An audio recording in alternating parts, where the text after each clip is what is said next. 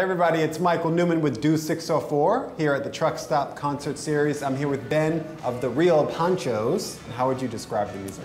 It started off a little more like folky country, mm-hmm. like roots rock, and now it's we're growing kind of a little more psychedelic, jammy, and also just makes good music when you're driving.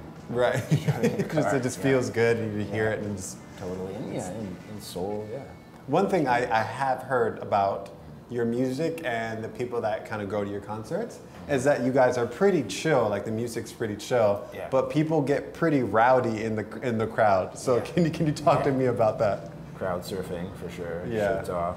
Yeah. It's all in good fun. I think just that connection, you know, the connection that you can make in a, in a good performance with the with the audience, like, um, and you've shared uh like a, a time together, which is really nice.